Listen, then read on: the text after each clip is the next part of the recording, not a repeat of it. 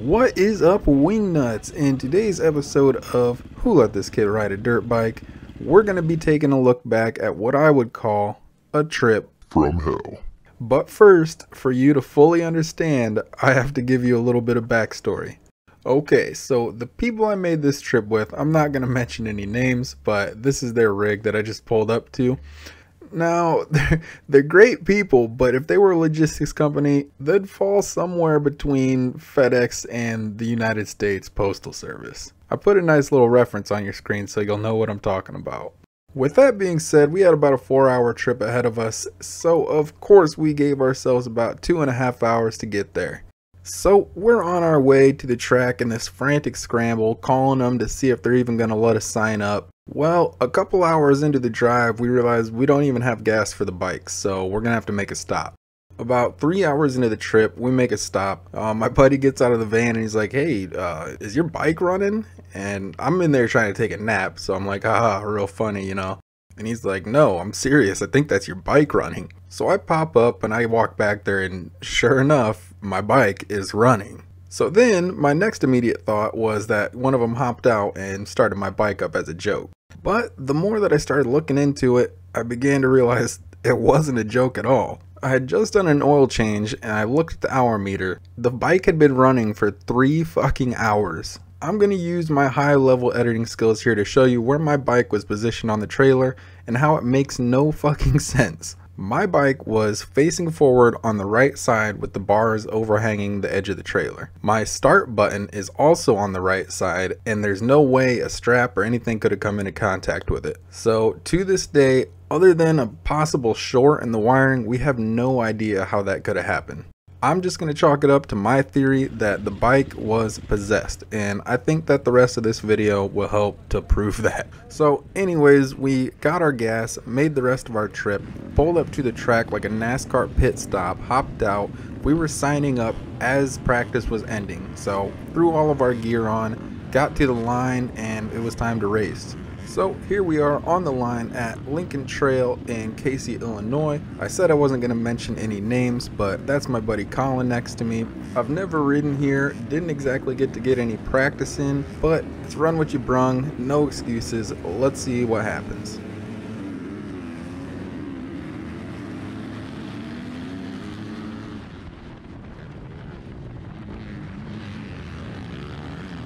Alright, so I didn't get a very good jump, but I had a pretty good gate, which leads to a mid-pack start. At this point though, I'm really just trying to figure out where the hell I'm even going.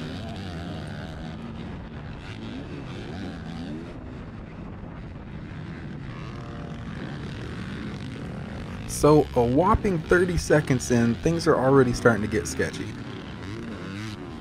I'm going to back it up for you just in case you missed it. So as I'm coming over this jump, the guy on the left is going to cross jump underneath me, which that's standard C-class shenanigans. But when I'm in the air, I'm getting a little bit obtuse. That's another way of saying I'm throwing a sick, nasty whip. Now, I should probably trademark that. I like that, obtuse. Anyways, I don't know how to bring that back, so we almost have ourselves a little crash. But we survived, so we're just going to carry on feeling out this track on this first lap.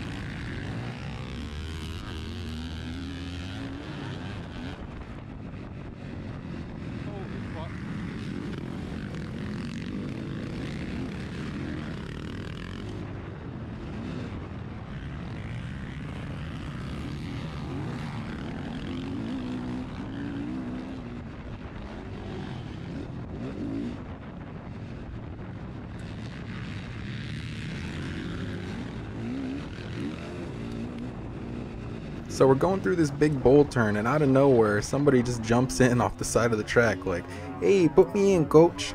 I don't even think he looked back. Could have ended both of our days real quick. So as we come around and cross the finish line to complete our first lap, I see this kid in front of me slipping and sliding around and I'm like, oh yeah baby, it's opening that door for me to make a pass.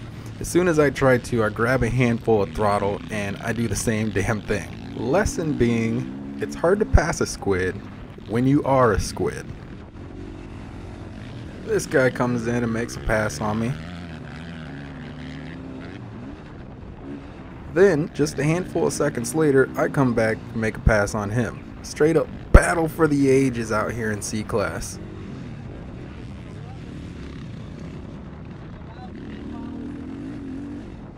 So we are now on our last lap for this moto. I'm getting a little bit more comfortable with the track, maybe even getting a little bit rowdy, looking for places that I might potentially be able to make a pass on this guy in front of me.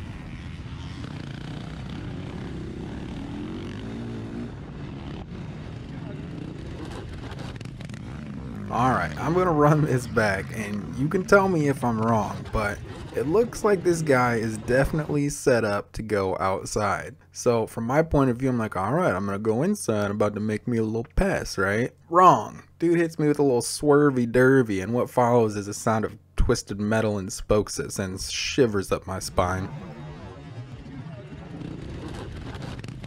After our little tip over, we pick the bike up and see if we can't salvage a couple spots.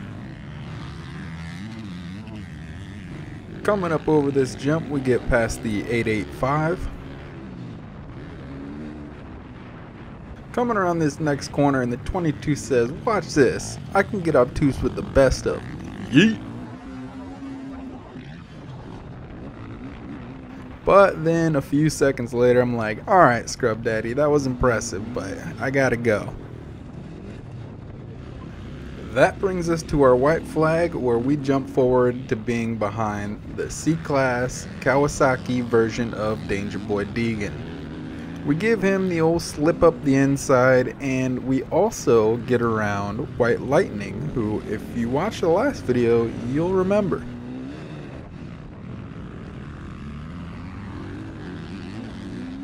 Another kid up here is stalled out and we go around him which I think puts us back to our original position before the crash to wrap up this moto.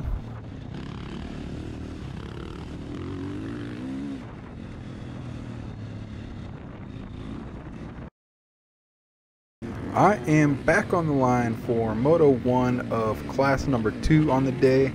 We're back by our buddy Colin and for some reason I am 9 miles away from the gate.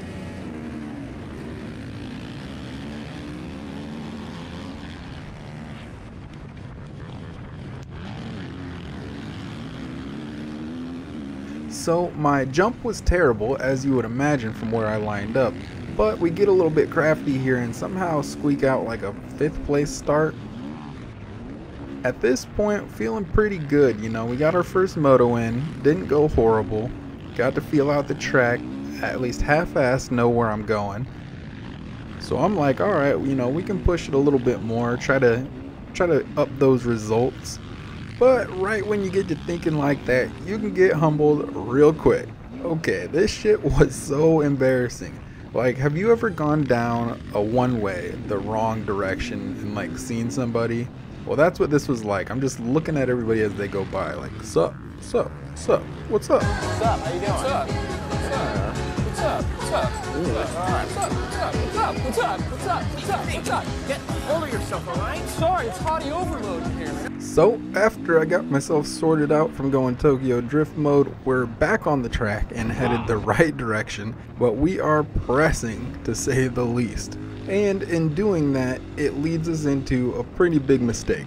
Now, it could be a mistake, or, hear me out, it could be Exhibit B on why this bike is fucking possessed. Okay, so we're gonna put Terry in reverse here and try to figure out what the hell happened because at first I thought I might have grabbed a handful of front brake, but as I went through it frame by frame and started looking, I realized that wasn't the case. So we're gonna go ahead and take a closer look here at my tire. I'm not sure what got my front end twisted up like this. Could have been a damned ass rock. It was this damn ass rock. And then here's a damn ass fucking gay damn ass rock. You want to keep it and pee on it? No, I want, I want to live. You can live, but do you want to keep the rock and pee on it? Maybe I just wasn't being strong with the front end. But regardless, you'll see that my tire has folded under and is almost completely off the rim. That causes my front end to tuck and it's good night from there. I'm over the bars.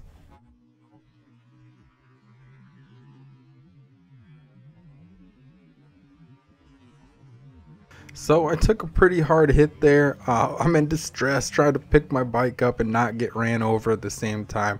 My GoPro's hanging off my face upside down. We'll get that flipped around, but uh, I ended up, my bars and everything were all twisted up. I got back on the track and I was going to try to ride it out, but I ended up pulling off for this moto. So as I'm pulling back into the pits, um, I'm not exactly happy and I have myself a little bit of an encounter here. At the time, I'm like, fuck's this kid got? Some kind of staring problem? Trying to get buck? Think because I'm 25 I won't beat up a 12 year old? Shit. In hindsight, I realized I was pretty busted up. You know, I had a bark buster hanging, my bars were all twisted up, my visor was probably pointed towards the sky. So yeah, I mean, I'd probably stare too if I was him, but in that moment, I was ready to run his little ass over. Anyways, we got all that shit straightened out. We're back on the line and we are in full motocross mode. No bark busters on the bike anymore.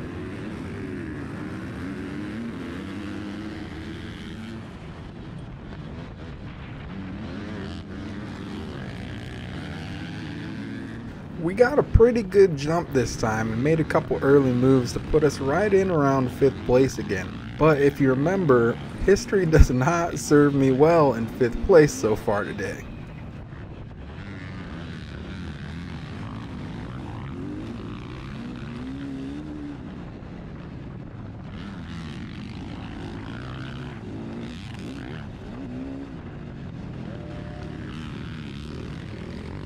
Well, if you didn't pick up on it that something was going to happen, here it is. I get too excited when I'm out front, you know, I just I choke. I'm like, I'm going to win this race, but no. So I dab my foot, I pop out of this rut, and then I wash the front end.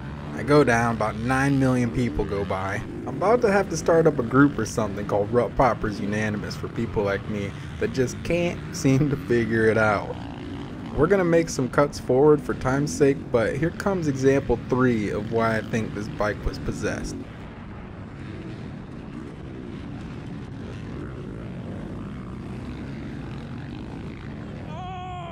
I'm sure you heard me yell there, and that's because as I went to pass White Lightning, my bike turned my leg into a snack. Now, I didn't even know my leg could bend like this. I dabbed, it got sucked up into the rear tire, and it's got me all pretzeled up like what you see on your screen. Just a couple seconds later, Elijah is kind enough to give us a perfect third person view of how that could happen.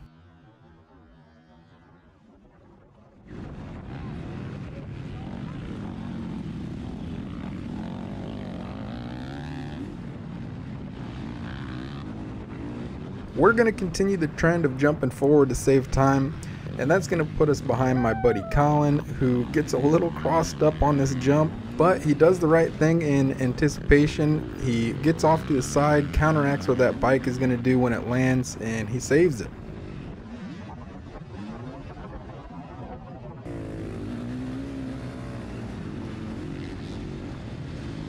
We end up making the pass on Colin here, and just as a little cherry on top, we don't tuck the front end and catapult ourselves off the bike this time around.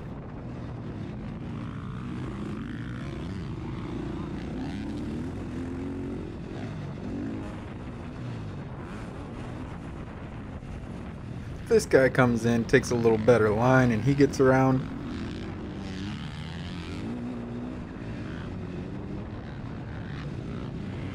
We come through and pick up our white flag, which signifies our last lap for the day. Looks like Elijah's having some trouble, so we pick up another spot as we go by him. I try to make a move here, but my rut popping ass just couldn't fit up that inside rut good enough to get by we come around to get our checkered flag. I'm not sure where I placed in any of these motos, um, overalls, any of that stuff. Uh, I remember I wasn't exactly happy with it. Uh, one of the first times that I felt like I belonged kind of in that top five range, um, if I could just cut down on some of the mistakes, but so it goes. That's just part of racing. Those are things I know that I've got to clean up in the future. As always though guys, uh, if you like the video, best thing that you can do for me is to give it a share. My last one didn't exactly go viral. We're trying to pump these numbers up. We're pushing rookie numbers right now, so help me out. Another cool thing is I'm going to start featuring some of my favorite comments at the end of these videos, so if you want your comment featured, drop one below. Peace.